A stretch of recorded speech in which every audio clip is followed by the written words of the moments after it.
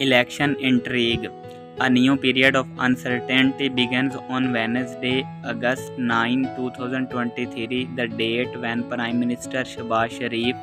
will formally recommend to President Arif Alvi that he dissolve the Fifth National Assembly.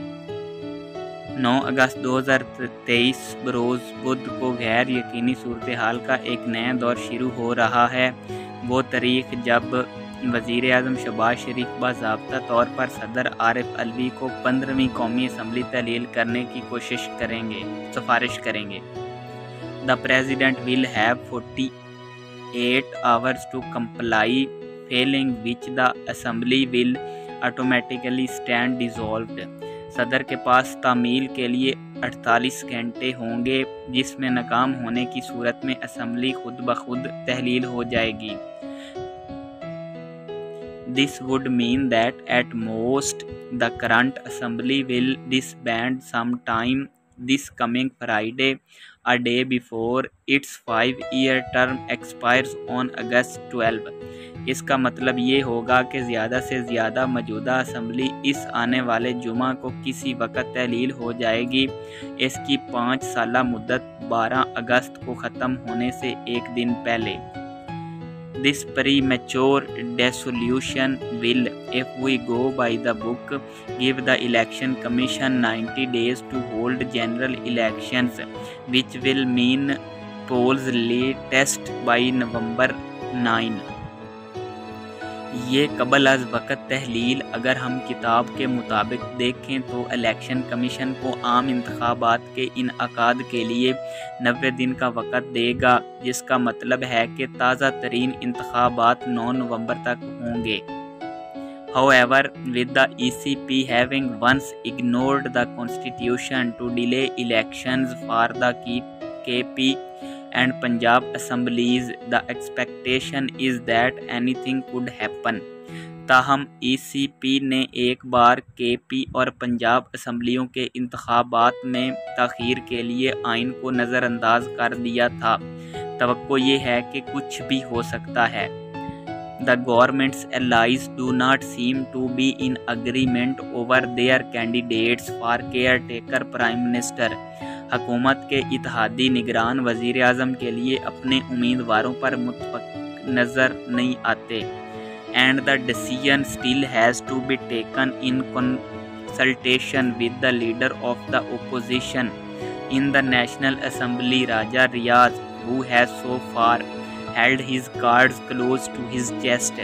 और फैसला अभी तक कौमी असम्बली में कायद हजब इख्तलाफ राजा रियाज की मुशावरत से होना बाकी है। जो अब तक अपने कार्ड अपने सीने के करीब रखे हुए हैं। Shunned by his own party it is no secret that mister Riaz has been shopping for a ticket that may give him another term as M N A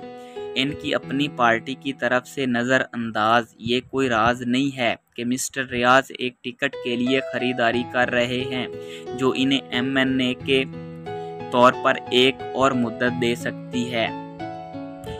However other power to have a lot reading on the decision he has to make and he is likely to face pressure from both the government and unelected quarter over the choice he has been empowered to make ताहम, देगर ताकतों का भी इस फैसले पर बहुत ज़्यादा असर है। जो इसे करना है और अमकान है कि इसे हकूमत और गैर मुंतब हलकों दोनों के दबाव का सामना करना पड़ेगा। इस इंतबात के लिए इसे इख्तियार दिया गया है। Due to these reasons the appointment is being scrutinised from all angles and speculations are rife इन वजूहत की बिना पर तकर्री को तमाम जावियों से जांचा जा रहा है। और क्यास अराइयाँ अरूज पर हैं। Another question has risen after the P M said he would want to see the election held on the basis of the latest census even though his allies refuse to accept its findings वज़ीर अजम के कहने के बाद एक और सवाल उठ गया है कि वो ताज़ा तरीन मरदमशुमारी की बुनियाद पर इंतबात होता होते देखना चाहते हैं। हालाँकि इनके इतिहादी इसके नतज को मानने से इनकारी हैं। A decision to use the new census now could push the election back by months अब नई मरदमशुमारी को इस्तेमाल करने का फैसला इंतबात को महीनों पीछे धकेल सकता है। The perception that there are layers upon layers of intrigue at play is giving rise to a palpable sense of unease among the general public ये तासर के साजिशों की तह पर तह मौजूद हैं। आम लोगों में बेचैनी के वाज एहसास को जन्म दे रही है। The upcoming general election were supposed to be a break out point for the country a fresh start after months of turbulence triggered by the ouster of the P T I government आने वाले आम इंतबात को मोल के लिए एक break out point समझा जाता था। पी टी आई हुकूमत के खात्मे के बाद, महीनों के हंगामों के बाद एक नई शुरुआत। Unfortunately all signs right now indicate extensive pre poll engineering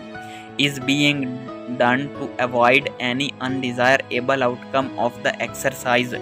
बदकिस्मती से अभी तमाम निशानियाँ बताती हैं कि मशक के किसी भी नापसंदीदा नतज से बचने के लिए वसी पैमाने पर परी पोल इंजीनियरिंग की जा रही है। It is important that the stakeholders realise that denying the people their right to choose including by controlling the choices they have unavailable will only cause the prevailing sense of disenfranchisement to become entrenched ये ज़रूरी है कि stake holders को ये एहसास हो कि लोगों को उनके इंतखब के हक से इनकार करना बशमूल उनके दस्तियाब इंतखब को कंट्रोल करना सिर्फ़ हक दई से महरूमी के मुरवजा एहसास को मज़बूत करने का सबब बनेगा। Disinvesting the public and blocking its participation in decision making will not help turn Pakistan around आवाम की सरमाकारी और फैसला साजी में उसकी शिरकत को रोकने से पाकिस्तान का रुख मोड़ने में मदद नहीं मिलेगी। It is critical given our fraught context that Pakistanis be allowed to exercise their unfettered right to choose whatever candidates they feel are best suited to their needs हमारे भरे हुए सियाको सबाक के पेश नज़र ये बहुत अहम है कि पाकिस्तानियों को अपने गैर मुतजलजल हक का इस्तेमाल करने की इजाज़त दे दी जाए